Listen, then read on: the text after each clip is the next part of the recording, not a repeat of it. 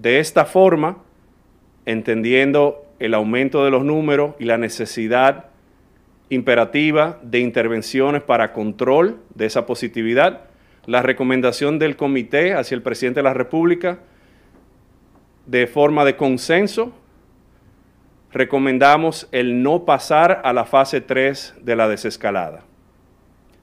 Esa recomendación se presentó al señor presidente Danilo Medina para su consideración y queríamos eh, comunicar que ese fue el consenso del comité y que las decisiones y las medidas necesarias se van a tomar eh, por parte del presidente de la República.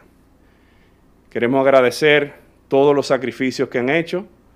Queremos reiterar que ahora no es el momento para suavizar ni relajar esas medidas preventivas y que precisamente ahora ese tema de solidaridad y ese tema de comunidad se hace aún más necesario.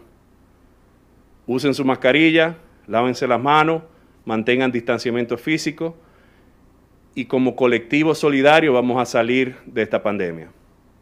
Muchas gracias.